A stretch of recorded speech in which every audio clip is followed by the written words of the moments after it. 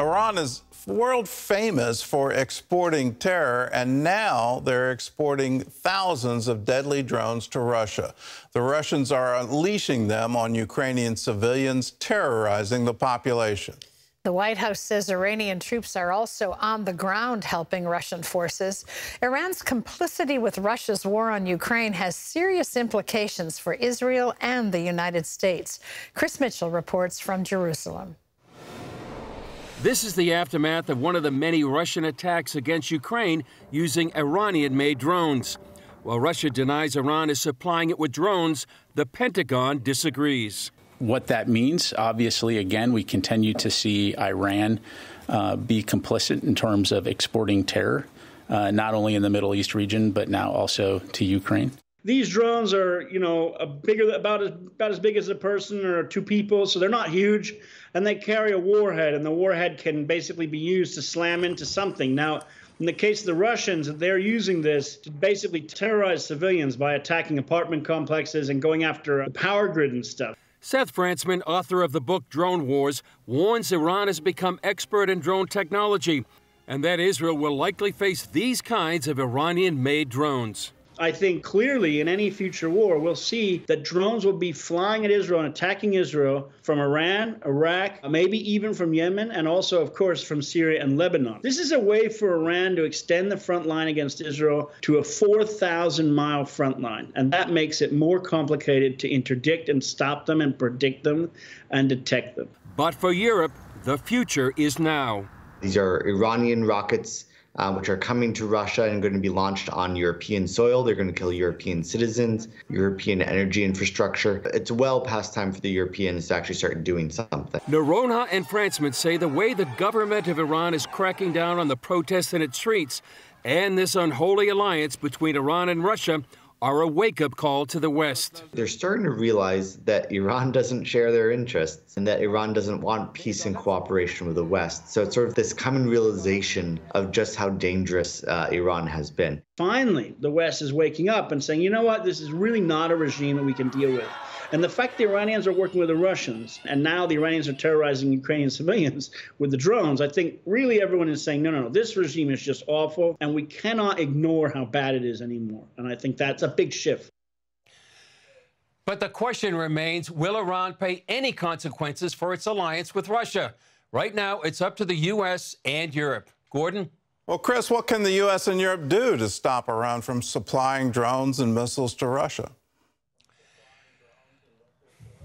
Well, a few things they can do, Gordon. First of all, they can go to the UN and they can return what the UN sanctions had been. They were lifted in 2015. They could put those on again. Europe, for example, can impose an arms embargo on Iran. They had one from 2006 to 2020, but they let that expire.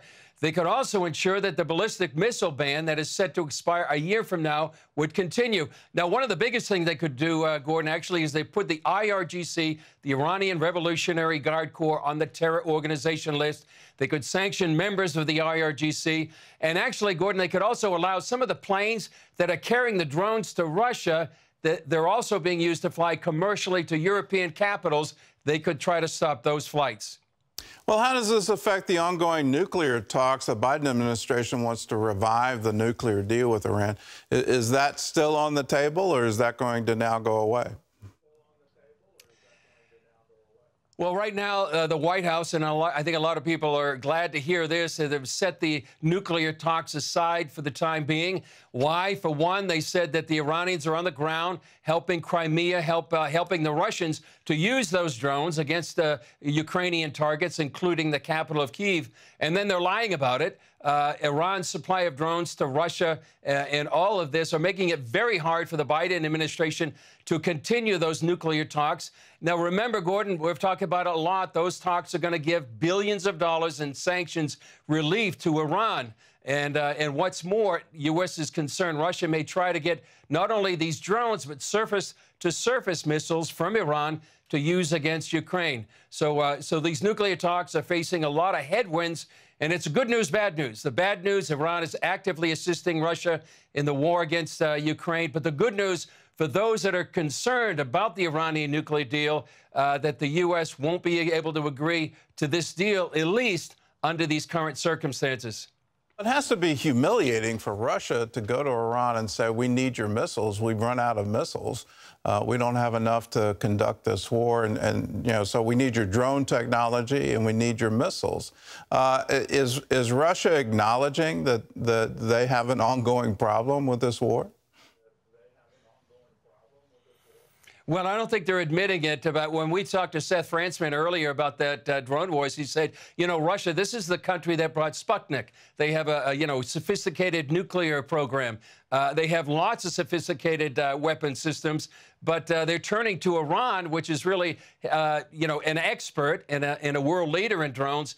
But, uh, but it is kind of humiliating for this superpower, uh, presumably, to go ahead and get Iran from these relatively simple drones that are, that are basically suicide drones going into uh, uh apartment complexes or some of the, uh, the electrical grid. Uh, but it's certainly a, down, a downgrade for Russia. Well, Israel is, is, being caught in the middle between Russia and the West. And now Ukraine is asking Israel for Iron Dome weapons, air defense system. Uh, is Israel going to supply Ukraine with those? What's Israel's response? Well, right now they're saying they won't supply those kind of weapons. For, for Israel, they are in the middle. It's a complicated and delicate geopolitical situation for them. They stand with Ukraine. They've come out, uh, you know, pretty straightforward, but they also don't want to alienate Russia. And the reason for that is they, in effect, share a border with Russia on the Syrian Israeli border, since Russia controls much of what goes on in Syria. And Israel needs Russia's help to stop Iran's military advances inside Syria. So, on the one hand, Ukraine is asking for military aid, and particular, as he said, those uh, Iron Dome and air defense systems.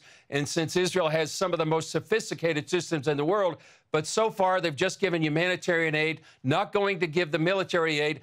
Just the other day, Defense Minister Benny Gantz said they'll not give any of those air defense systems. And, and Gordon, in a rare instance of unity, Former Prime Minister Benjamin Netanyahu, who you interviewed just the other day, he said that the current, current government is being prudent and circumspect by not selling weapons to Ukraine. And he says he fears those weapons supplied on the battlefield could end up actually in Iranian hands and then be used against Israel.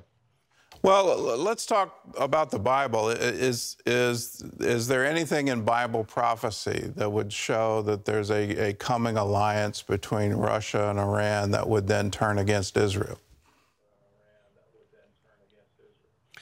Well, it does talk in Ezekiel about an alliance with, uh, with the uh, country from the north as well as Persia or modern day Iran uh, talking, uh, getting together against uh, Israel.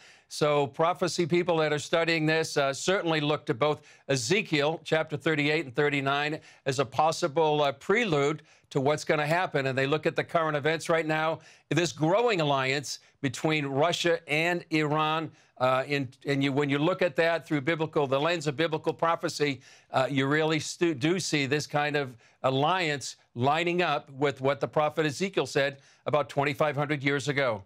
All right. Well, Chris, thanks for the insight, and let's continue to pray for the peace of Jerusalem.